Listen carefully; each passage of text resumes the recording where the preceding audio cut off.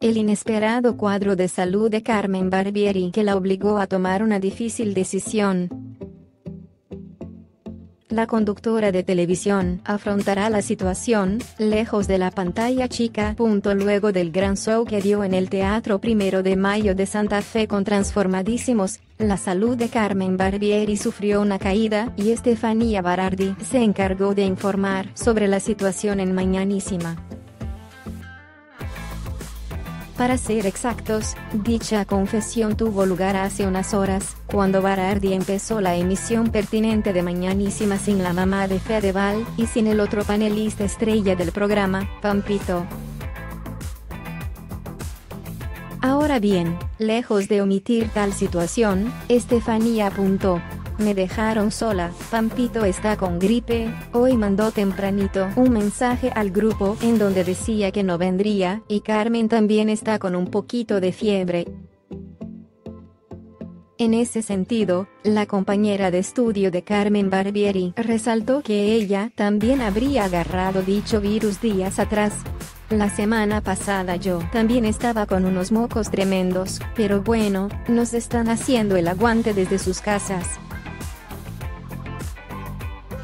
Por el momento, se desconoce cómo está de salud Barbieri y cuándo tendría pensado regresar al formato matutino que conduce todos los días de semana, pero, por la forma en la que Estefanía explicó la situación, todo parece indicar que la profesional volvería mañana si su condición mejora. Mientras Carmen retoma la conducción de Mañanísima, el equipo de producción del formato decidió poner a Estefanía al frente del formato, quien, por cierto, ha estado en la boca de muchos por el rol que ha ocupado como panelista en LAM.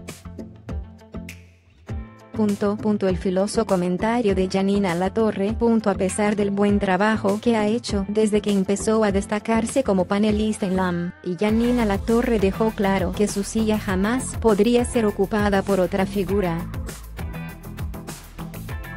Punto explícitamente, La Torre expresó lo siguiente, yo sé que soy irreemplazable en el programa, porque conozco cada rincón, estoy desde que el programa arrancó, soy la más picante,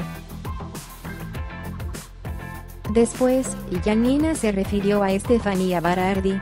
Punto es cierto que sirve siempre un contrapunto, y, para eso, la tengo a Estefi, Berardi, porque es chicanera. Pero no es sólida para discutir, porque capaz discute conmigo, se enoja y me contesta como me contestaría Lola, seguramente porque es chica,